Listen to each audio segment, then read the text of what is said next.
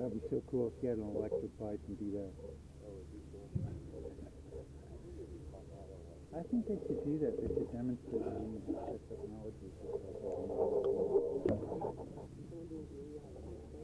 You can zoom in like that with the feet up there. Yeah, it does. I haven't figured out how to block out my face, but you'll have to suffer through that. But I posted a bunch of them. They're pretty cool. Does it go straight up too? It does everywhere, man. That's cool. You can see the stitching. It's like it cuts my hand, cuts my wrist. And that, you would think that the stitching would only be like this way and that way, but there's also another seam sometimes right up. I don't know what it, what how it puts it all together.